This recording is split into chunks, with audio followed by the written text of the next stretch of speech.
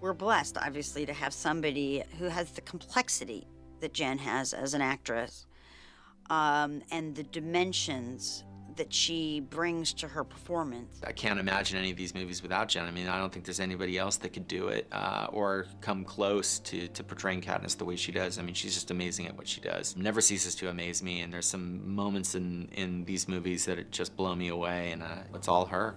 Jennifer is the one who kind of carries this whole thing on her back, and you're in her shoes, you're in her mind, and you're experiencing every change through her eyes. She's a genius. Quite simply, she's a genius. She's pure, smart as a whip. She's extraordinary.